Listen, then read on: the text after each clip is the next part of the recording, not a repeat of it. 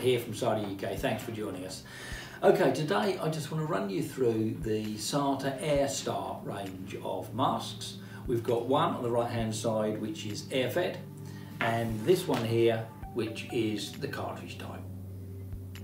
This is the SATA AirStar C. This is the air-fed version. So as you can see, the supply tube goes into a waist belt, which is mounted on a belt that goes around your midriff. Then you've got a protective cover there, a bowl there. If we pull that off, you'll see that we've got a char activated charcoal filter in there. That's very important. This is the cartridge version of the AirStar range. This is called the AirStar F. So essentially you have cartridges that are affixed to either side.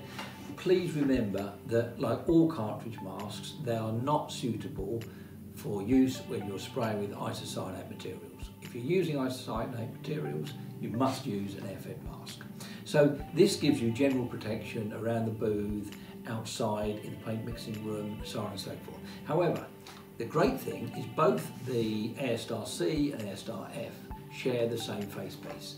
So all we need to do is grip it, twist it, and we can then remove the cartridges and we can then fix onto there the air supply tubes, which hopefully will go on very simply.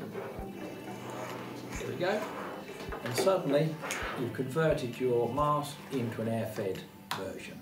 Of course, you still need to connect that to some form of charcoal-based belt. So this hopefully shows you the AirStar range gives you the option of air-fed or cartridge. That should cover most of your needs in the paint shop environment.